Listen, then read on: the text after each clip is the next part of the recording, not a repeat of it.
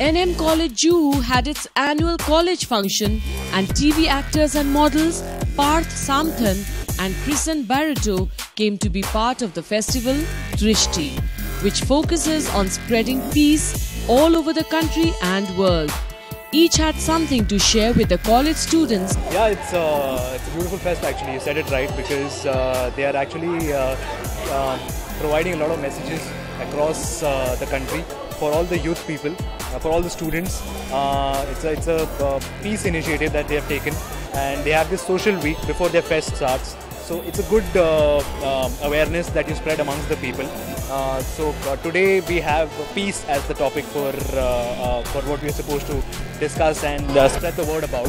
So it's good. It's good actually. It feel you feel nice about it. So I've always loved college festivals. I miss college festivals. I was part of uh, my college festival always, which is Malhar for Xavier's. And I've come to NM. I've performed here before actually, Dunn Street. I've come to all these colleges and it actually is nostalgia because you come back and you come back with a completely different scene like now. I miss, I miss dancing and but it feels good like in a way I get to come back here and like remember the days that I used to be part of all of this.